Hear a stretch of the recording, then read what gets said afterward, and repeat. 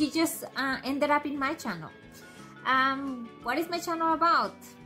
I'm trying to establish my lab and um, we do research on exotoxins, which are bacterial toxins that are released into the environment to uh, be able to attack uh, the target cells, kind of. And yeah, and we are trying to do everything under open science principles.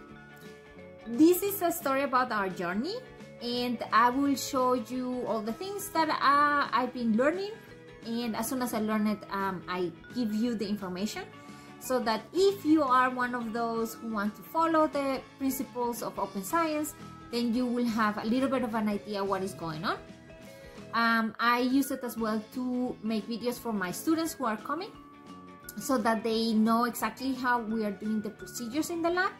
And if somebody else can benefit from it, I'm super happy because it's a lot of work to try to get all the information together and apply it to the real world in everyday life in the lab and in the analysis and in bioinformatics that we're doing. I was mentioning bioinformatics because our lab is 50-50, uh, so 50% wet lab, 50% bioinformatics. Everybody has to learn at some point to do data analysis in Python or in R and they have to make it in a way that is reproducible and that we can make it accessible to everybody.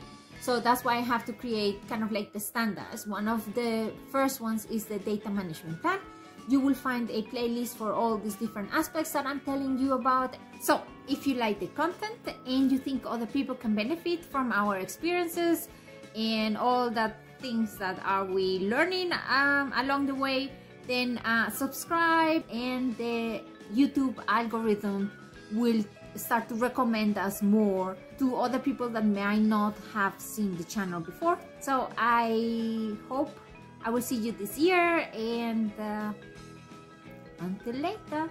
Bye.